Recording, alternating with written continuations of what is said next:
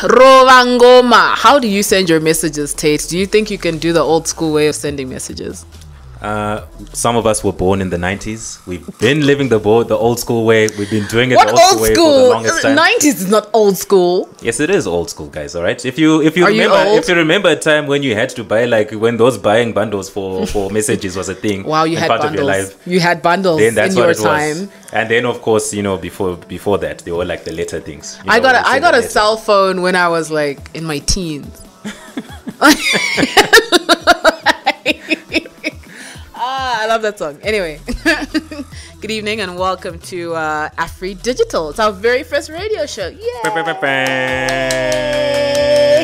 we're doing it. We're doing it, guys. we're doing the things that need to be done. My name is Aurra, and of course, I have Tate with me tonight. hey guys, how you doing? Yeah, you good? Are you excited?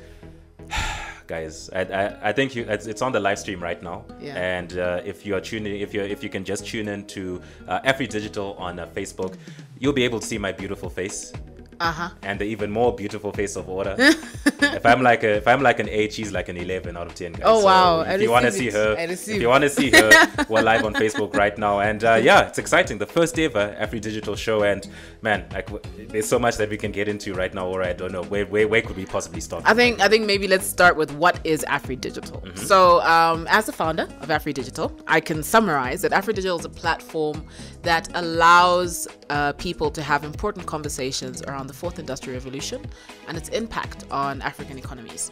Um, we're looking at every sector of the economy, so we're not just focusing on finance or agriculture. We're looking everywhere from the creative economy right down to health and how tech has influenced it and how uh, we I guess the future of our economy. future is now, Um, so, so um, I guess radio is just all part and parcel of getting the the message out there. Um, we're going to be talking about some really, really interesting stuff. I think we have a good show lined up for you today. Um, we're going to be looking at tech breakthroughs, which is um, interesting stuff that's happening in the world of tech, not just in Zimbabwe, but Africa and then the world. Um, Yeah. So we start from the inside going out. And then uh, we also have um, what's called the innovator. What? The innovator spotlight. yes. just just give it enough time, guys, and then I'll put in like the nice little drop of the the innovator spotlight. And uh, that's that's gonna be very interesting. I think innovator spotlight. We take a look at uh, the young people in Africa who are doing big things in the world of tech, and you know Yeah. just ta- just keeping uh, the technology moving one step at a time Yeah. on the mother continent. So that's something definitely to uh, look out for. And I like what you had said just now, Aurra. You had said we're not just looking at uh, you know like agriculture and what have you. We're looking at all sectors. Yeah. Uh, the reason why we say that is because as Afri Digital, uh, every month we have a talk on each uh, on each of the different sectors Yes. uh, that is impacting the Zimbabwean economy. So we've already done uh, fintech, Yeah. and uh, we've also we've also done uh, Agritech. agri- agritech. Yeah. And if you want to check that out, you can go on our Facebook page. That's Afri Digital ZW. Check out uh, those um, check check out those live streams. And uh, if you want to be part of any future talks thereafter, we're also having a talk on energy uh, later this month, and that's going to be on Thursday, the 25th of July. And it's gonna be it's a, it's a real vibe, guys. If you, I'm gonna tell you right now, be here, be here. You want to be part of the conversation. Yes, So, you do. uh, you do. and want- I think don't don't think that because you don't work in the energy sector Mm-hmm. or that that it doesn't relate to you. Like a lot of people when they when they inquire about it, they'll think, okay, is this only for farmers? Like when we're doing agri-tech. Yeah. But it's if you are interested in the future of Yeah. where we're going and how technology is changing and how it affects you. Mm-hmm. As long as you're affected by tech, as long as you own a cell phone and Yeah. a laptop, or as long as you are connected to the internet somehow, Mm. you should be there because these are things that affect us. I mean, everyone right now, power cuts are a real thing. Yeah. Um, so we're going to be talking about alternative sources of energy, um, how best to utilize the resources we have. Does this mean we need to apply blockchain in order to revolutionize the, the energy sector? There's so much to talk about. So um, I hope you make it through. Um, if you do want to participate or if you want to be part of our partners, we've got some incredible partners who help us do these events. Please feel free to get in touch with Patrick. So that's Patrick at abcommunications.co.zw and he can point you in the right Shout out to. Patrick, guys. He works so hard behind the scenes over there. Guy. Yeah. He's so- actually in studio tonight. He's actually in studio. What too. kind of support is that? Can we just like there's like actual support. Actually the whole full team is here tonight, which is really, really exciting. We got Gurley behind the camera. And then uh, Patrick is just chilling, like like giving us the very like he's like watching his clock on some like hurry up, keep the schedule. Keep the schedule, Um, yeah. But Patrick, we're excited. It's our first show, okay? So like just Zikama. All right. okay, so um, I think let's uh, kick things off uh, with uh, tech breakthroughs, as you just uh, talked about just now. And uh, in this segment, we like to look at uh, what what la- what latest technological advances are happening here in Africa on the continent. And Yeah. the first one is something that's a little close to home, because we're going to be talking about Econet, and the news that Econet has adopted uh, Tesla batteries for their base stations. So these Tesla batteries, these Tesla batteries, rather, Batteries. batteries, come on, guys. These Tesla batteries are Powerwall 2 fleets or Leon uh, batteries, and uh, these batteries are being trialed for the past 12 months. And the decision has been made uh, by the executives there at Econet uh, to adopt the backup on a wider scale. So, why this is so, uh, especially right now, because we are talking about energy. As we all know, there have been power cuts here and there, and the unfortunate thing is Here and there, I like that. Very, very, Here very, very, very uh, Very- forgiving very, there. Very unforgiving there, yeah. uh, so the unfortunate thing is it also does affect some of these base stations like that uh, carry the Ethernet signal over there. So if you've Mm-hmm. Noticed that your cell coverage has been kind of going down a little bit, Yeah. uh, it's mostly because of that. So uh, Oh wow! So the power cuts. Are you saying that when the power goes, that the base station doesn't work? some of those base stations had been running on diesel, and that was like the big thing, and that's why Ah, they decided to do the shift to the Tesla batteries. And uh, these things are pretty, are pretty, are, pretty impressive. I'll, I'll tell you that, uh, especially with the charge times and everything, because uh, these feature integrated batteries, inverters, and smart controls uh, via the Tesla Energy Gateway, uh, which also uh, solves a problem in the fact that it, these can also be charged by solar. So even during the day, even if there's no electricity, They guess what? still- It can still. But then, how long do they run for? Uh, these are gonna be uh, are reported uh, to run for up to 18 hours. 18? 18 hours. One eight? One eight. At a stretch, if it goes from uh, from zero to 100, Wow. it can go for up to 18 hours, and it's renewable. So obviously, during if perhaps during the day if power is there, then it can charge. If it's not there, then it's also uh, Okay. you know charging itself via uh, via the sun. So essentially, what we're saying, say it's six o'clock, it's Mm-hmm. dark. If it's cut off from that point and there's no power all the way up until the next day, 6, Yeah. 7, 8 a.m., Yeah. they'll still be running and then it can charge itself up with solar power. Ah, I see. These are inventions. These are innovations we need, guys. Hopefully, other other networks Mm-hmm. will adopt a similar approach. Yeah, Um, definitely. It sounds like, but I'm curious as to like, okay, fine, you brought in Tesla. Everyone knows who Tesla. Well, if you don't know who what Tesla is, Tesla was founded by Elon Musk, um, and It's it's South African, it's- actually. Is he- was it? Yes, is he he's South African? Yeah, he went to Pretoria Boys High. Yeah. Okay. Okay. All right. Okay. Okay. Well, you're the SA Fundi, so I'll just I'll believe you. Yeah. but Elon Musk, right? Um. Oh, so is it Elon Musk? Like who? Okay. Yeah, yeah, so that. anyway, yeah. So Elon um started a founded a company called Tesla, and Tesla. Most people know Tesla for their cars, which is the electronic cars, Mm-hmm. electric cars. Sorry.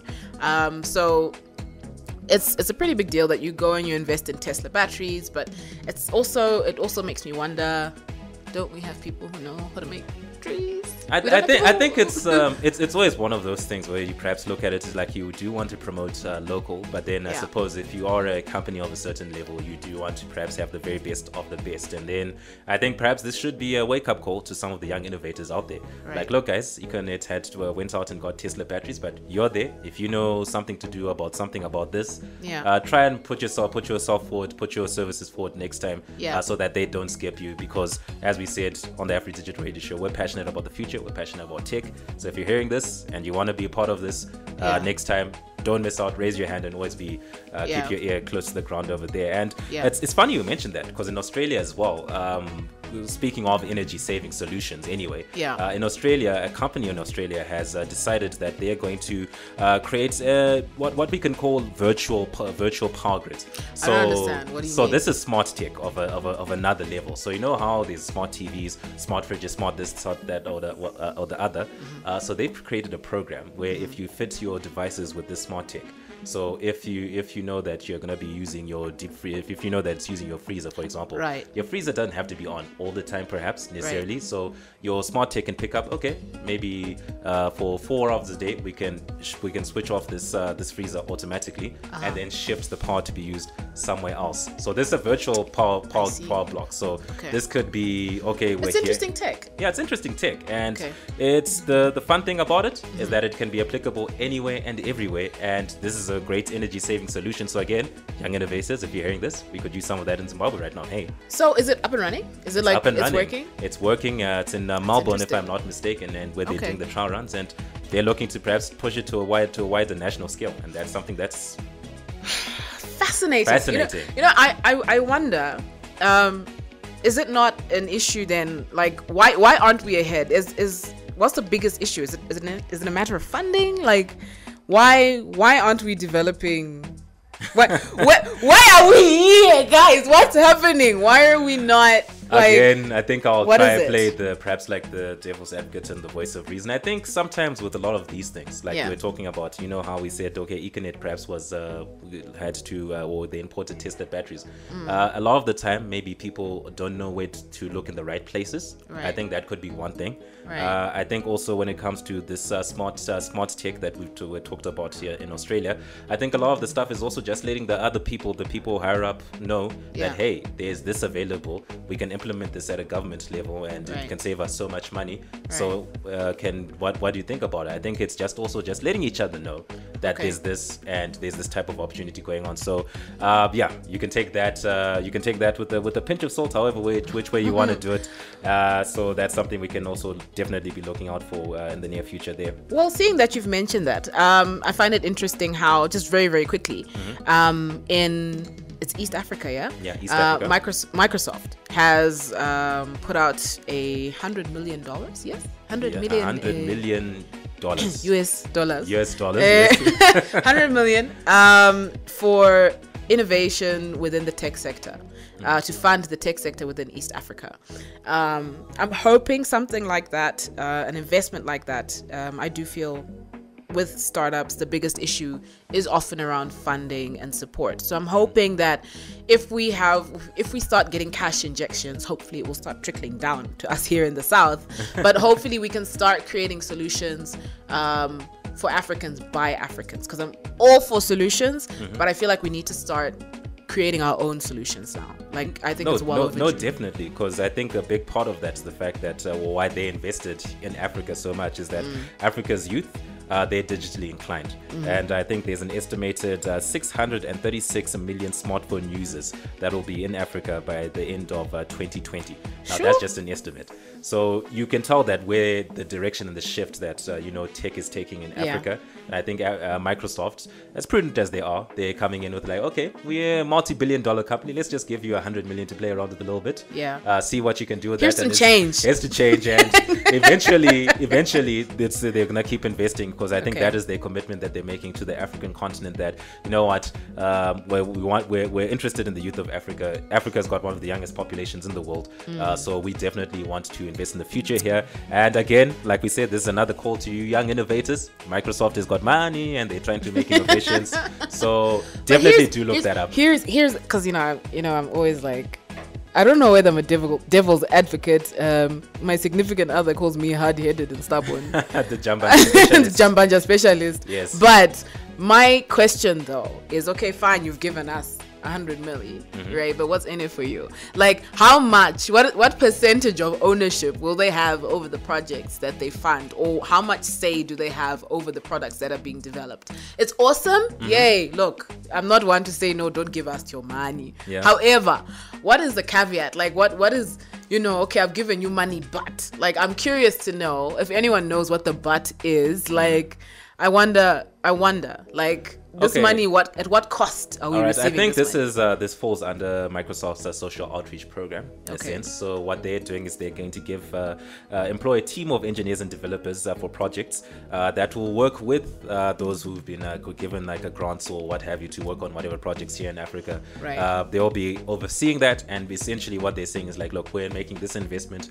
If you've got a great technological innovation, or if you feel that you can work in this field and help Microsoft services better in this in such a way, then you can come through. And I think that's how they're they're viewing it. They're not necessarily say, okay, we're giving you this and then we want it back. They're saying no, it's an investment. That's what it is right now. So shout outs to Microsoft. Why not? Okay, it's fine. Speaking of money, um, there is definitely a kid who I think um, deserves a cool hundred milli, and that's our uh, innovator spotlight techie for today. Um, the incredible, uh, incredibly gifted and semi spooky kid. Semi-spooky. He's kind of spooky. I'll explain why he's spooky uh, a bit later. But this kid's name is Winfrey Mere, 19 years old. And what did he do? Tell us. All right, so this 19 year old, Winfrey Mere, he designed a homemade generator that uses uh, used oil, waters, uh, water, and batteries as essential components to run the generator. So, you know, we were, we were saying that's just incredible. Like, Yeah. he's 19 years of age and he just made, he, he saw there was a problem. Yeah. There's no power. Yeah. And he tried to come up with the, so the cost effective uh, solution. And uh, the great, the, the, the amazing thing about that is that Winfrey, uh, his highest educational qualification is he went he went up to grade seven. That was that, but that did not stop him Yeah. at all. He Yeah. kept on going, he kept on pushing, and he did big things. And we actually got a chance to catch up with Winfrey. Uh, so let's just hear from him really, really, really quickly, and then we just continue to discuss, uh, you know, the big things that he's doing right now. sekutanga ndokuti rekutanga diki raishandisa used oil kugenerata power pandazoona kuti zvinhu zviri kutinetsa kana vamwe maoil ava wane mudzimba vamwe kumusha vawane kwanisa kuwana magaraji emaoil saka nichingoita ringoti rinongojambwa nebhatiri rosiwa. Ndo iri nyowani racho randakagadzira kuti rinogona ngostatwa nebhatiri obhisa rotorana kana moyes bhatiri risina kuitwa off. Pariswicha off rinotoda rimwe bhatiri westart kuti rimuke futi ndoda ngoti vanhu vangondisumudzirawo vakandisumudzirawo pamwe tinokwanisa kusovha mamwe maproblems anenge aitika mune dzimwe nyika kuti izvezvi magetsi ari kunetsa sofa saka tikangosumudziranawo ngoti zvaitwa nemumwe ngatisumudziranei tinokwanisa kumba chinhu chakanaka mukati menyi- menyika imomo Ya, jenareta rangu iri rakanakira kuti harisi kushandisa oil iri nyowani harisi kushandisa enfuel but unongorijamba warijamba wotosiya rorana mawazi auri kuda. Nekuti muno munyika hamuna mune dambudziko rekushayikwa magetsi magetsi angona kuenda kuma4 makuseni odzoka na 2 am saka iri jenaita rangu iri ndoparino ndopataona kuti rinokwanisa kutibatsira kuti vanhu vakwanise kuita kuisa magetsi asingaperi All right, Wow. so that was Winfrey made it, just you know Wow. breaking it down and like what For I was those saying. maybe who don't understand what he was saying, is that basically what he was saying is that he has um, decided he decided to build this generator because power was an issue. Yeah. Uh, where he was, and um, it's really difficult, um, also expensive to a degree to get the fuel to run a proper generator, and he he decided to create a generator that runs off used used oil um, because obviously that's a lot easier to come across than Yeah. uh, diesel. So from that point, he then decided, okay, let me do this and create something that works, and he did it. And okay, here's here's why I, I think he's spooky. So I asked him, right? I asked him. I said, okay, Winfrey, how did you? Okay, fair and fine. You did your grade seven. Uh, you finished grade seven. He wasn't um, due to social economic challenges. He wasn't able to pursue his uh, education beyond grade seven. And I asked him, how did you, how did you, how did you learn to build this Jenny? Uh, And uh, he basically said that uh, he was told he was instructed in a dream. wow. So I was low key like, I was low key spooked. Like I don't, I don't understand. What, He- he- what do you he, mean? he, saw it in his dreams, and uh, you know, fair, fair enough to him. Uh, in my dreams, I see you know me playing PlayStation and what have you, and I also get up and I live my dream to the fullest like that as well. Wow, wow. Him building a generator, of course, that's Those are another. new levels. That's a, those are new levels, but just a little more on the technical aspects of that generator. Mm-hmm. Uh, it's charged. Um, it's charged by by seven point uh, by three point seven volts, uh, which generates up to uh, 48 volts. Uh, that can switch on a light or and charge a phone at the same time. And he used 100 dollars uh, to build the generator, 100 US dollars to build the generator.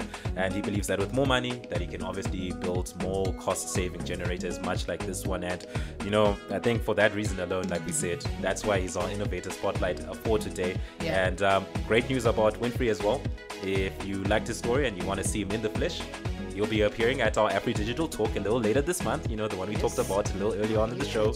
Yep. Uh, the 25th of July. If you want to be there and you want to see Winfrey, see what he's all about, get to hear from the man, uh, that'll be happening here at 7 Kenilworth Road, Newlands, Harare at ZiFM Stereo. So Yeah. uh, definitely that's something to look out for. Yeah, absolutely. Um, I'm excited to hear.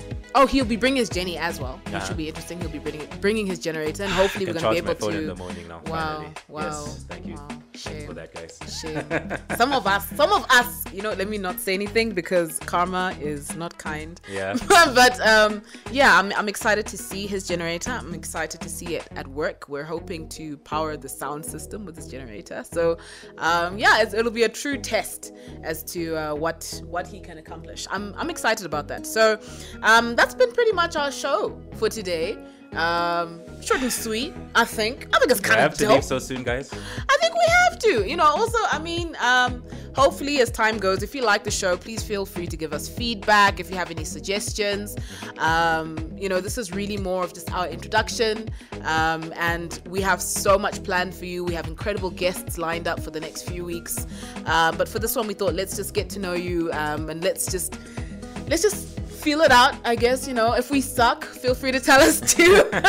But i don't think we suck. Um, so visit us on all our social media platforms. Um, so that's at afridigital zw um, and um, feel free to hit us up. Um, also we encourage um, innovators to get out there. So our page is not just for us Yeah. um, it's also if you have any incredible ideas, if you if you know someone who's doing something really incredible and innovative. We have so many hubs here in Zimbabwe. We have um, the Tech Hub in here in Harare. We have Tech Village in Bulawayo. We have all sorts of centers around the country. So we have all the centers and the hubs. There's enough. There's enough. we have all of it. We have all of it. So, so if you know of someone, if you are within, um, if you are part of the future global workforce, if you are part of the fourth industrial revolution, if you are doing things to change the world that we live in, please, please feel free to just, just like go ahead and spam our inbox. We're ready to read all your messages. and again, uh, if you're interested in any of the Afri Digital events as well as our calendar, you can um email Patrick at abcommunications.co.zw and also keep an eye out for our website, which is exciting. That's coming. Yay. A website? Mama, we made it. Anyway, it's been absolutely awesome. Uh, please stay tuned in to ZiFM Stereo, my station, your station, hottest radio in town. Um, and yeah, I'm excited. I can't wait for next week, and I hope you'll tune in. please do tune in, guys, and uh, please also do stay tuned uh, for Larry Kuirai on the platform, who's up next right now.